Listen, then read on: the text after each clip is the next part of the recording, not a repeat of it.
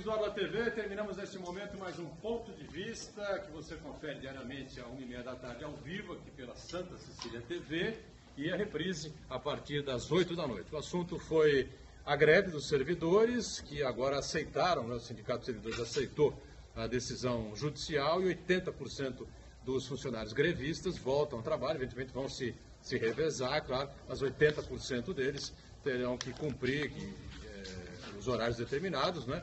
e especialmente na área da saúde, que foi uma das mais prejudicadas. Fábio Ferraz, secretário de Saúde de Santos, esteve conosco, falou bastante sobre esse tema e explicou também essa novidade que a Prefeitura está colocando eh, em ação a partir de hoje, uma parceria com as filantrópicas, Beneficência Portuguesa e Santa Casa de Santos, que é o Meta 30, né, secretário?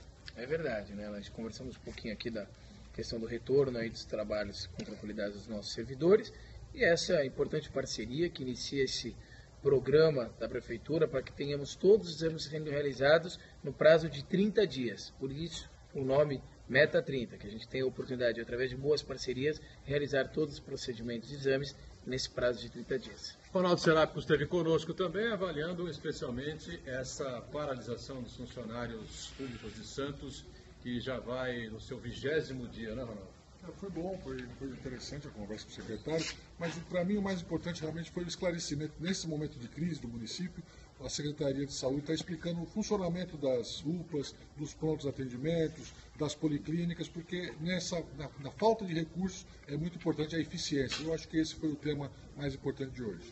Muito bem. E o professor Iberê, né, experiente já nessa questão que envolve aí paralisação, greve, andamento da máquina, também tem um posicionamento com relação a toda essa situação que nós estamos acompanhando já há 20 dias, né, Iberê?